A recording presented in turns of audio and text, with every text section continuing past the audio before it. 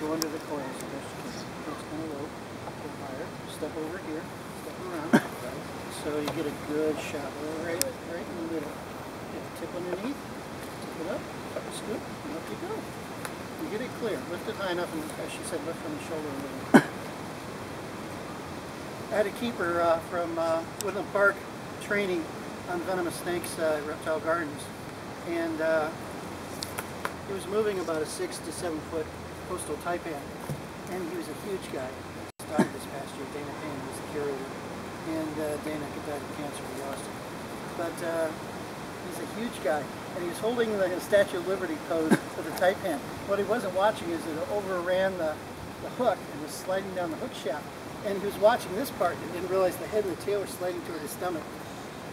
So I just took my hand and pushed his arm down gently, and then the, the taipan slid back into the hook. So just watch everything. So this is really too easy. This is really nice and cool. A little shape. This was hatched at uh, the St. Louis Zoo about five, six years ago, seven years ago. Me two females and then uh, two old males that I acquired in 93 from wild caught. And they finally died this past year. No, we just have two females now. We had 18 at one time. Oh, Spread out to. Woodland, to St. Louis, to two or three zoos.